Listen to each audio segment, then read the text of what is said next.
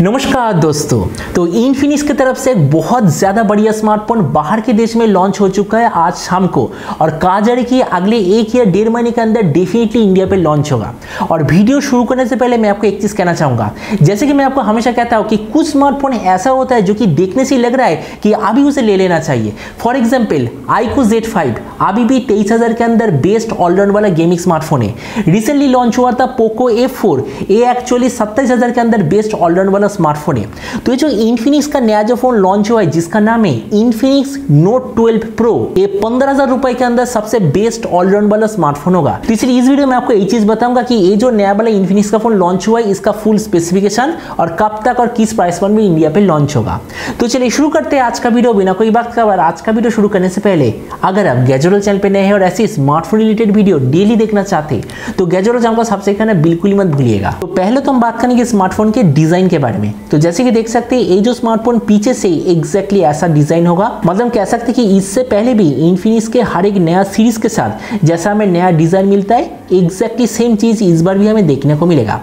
तो इस स्मार्टफ़ोन का थिकनेस है 7.8 मिलीमीटर और इसका वेट है 188 ग्राम डिस्प्ले के मामले में आपको इससे मिलेगा 6.7 inch full H D plus normal 60 hertz super AMOLED display उसके साथ होगा 180 हर्ज का टच सैम्पलिंग रेट 1000 नीट्स तक का मैक्सिमम ब्राइटनेस इसके डिस्प्ले का जो नॉच वो आपको मिलेगा ड्यू ड्रॉप स्टाइल उसके साथ 89 परसेंट का आसपास स्क्रीन टू बॉडी रेशियो 20 इस टू नाइन एस्पेक्ट रेशियो भी होगा। और इसका जो डिस्प्ले का प्रोटेक्शन वो मिलेगा गोइला ग्लास थ्री मतलब जो भी कहे, जिस प्राइस पॉइंट में लॉन्च होने वाला है प्राइस पॉइंट के हिसाब से इसका जो डिस्प्ले मुझे तो बहुत ही बढ़िया लगा। प्रोसेसर की अगर बात करें, ये एक्चुअली दुनिया का पहला स्मार्टफ़ोन है जिसमें आपको हीलियो जी नाइन प्रोसेसर मिलेगा। और अगर आप गैजुअल चैनल के पुराने व्यूअर हो तो आपको पता ही होगा कि मैंने हीलियो जी नाइन के साथ ऑलरेडी बहुत सारे प्रोसेसर का कॉम्पेरिजन वीडियो बना दिया है। आप चैनल के सर्च बटन में सर्च करके देख पाएँगे। कैमरे की अगर बात करें, आपको इसे मिलेगा 108 मेगापिक्सल का रियर कैमरा, उसके साथ 2 मेगापिक्सल का टोटल दो सेंसर। अब ये जो 108 मेगापिक्सल का सेंसर है, कहा जा रहा है कि इन्फिनिक्स का टोटली नया बनाया हुआ सेंसर है। मतलब इन्फिनिक्स ब्रांड की तरफ़ से ऐसा कहा गया कि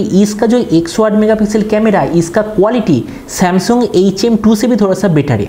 उसके साथ फ्रंट में आपको मिलेगा सोलह मेगा का सेल्फी ये जो स्मार्टफ़ोन आपको टोटल दो वेरियंट पे मिलेगा, आठ एक और आठ टू इसका रैम का क्वालिटी होगा L P D D R four X memory का क्वालिटी होगा U F S two point two और इसके साथ डेफिनेटली आपको मिलेगा two plus one card slot और इन्फिनिक्स के रिसेंट टाइम में बाकी फ़ोन के जैसे इसमें आपको पाँच जी तक का वर्चुअल रैम का ऑप्शन मिलेगा.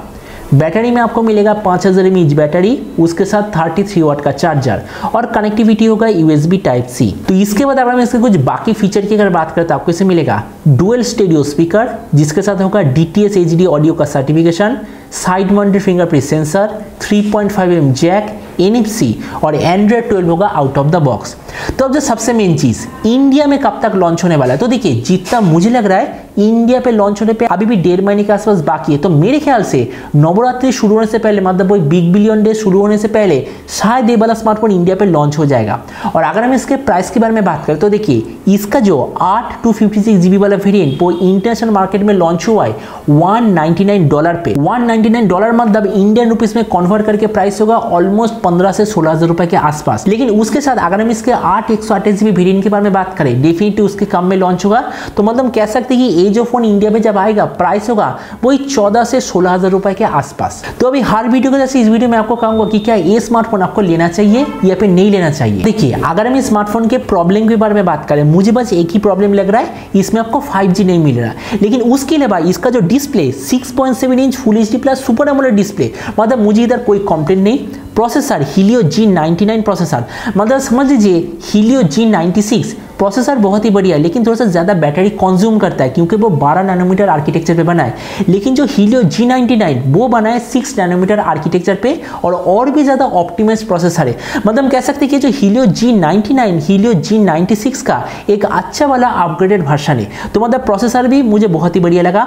कैमरा, इसका जो मेन एक सौ आठ मेगापिक्सल कैमरा, वो इन्फिनिक्स का एक कस्टम एक सौ मेगापिक्सल कैमरा है। उसके साथ आठ एक सौ GB memory U F S two point two का स्टोरेज पाँच हज़ार mAh battery thirty three watt का चार्जर और डुअल स्टेरियो स्पीकर मतलब एक पंद्रह हज़ार रुपए के स्मार्टफ़ोन में हम एक फ़ोन के अंदर जो भी चीज़ एक्सपेक्ट करेंगे, सब कुछ इस इन्फिनिक्स नोट ट्वेल्व प्रो में हमें देखने को मिलेगा। तो इसलिए वीडियो का आकर में मैं आपको एक ही चीज़ कहना चाहूँगा, अगर अकॉर्डिंग टू लीक्स ये जो स्मार्टफ़ोन इंडिया पे पंद्रह हज़ार के आसपास लॉन्च होता है तो मैं डेफिनेटली पहले सेलमी से लेकर आप लोग इसका रिव्यू देने की ज़रूर कोशिश करूँगा।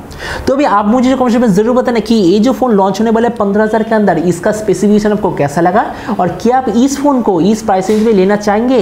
या फिर सेम प्राइस पॉइंट में ऑलरेडी जो पोको एम प्रो जैसा स्मार्टफ़ोन अवेलेबल है उसे लेना चाहेंगे? इसके बारे में मुझे जो कॉन्शन कहना बिल्कुल ही मत भूलिएगा। तो मिलते अगले वीडियो पे, तब तक state always member think positive be positive thank you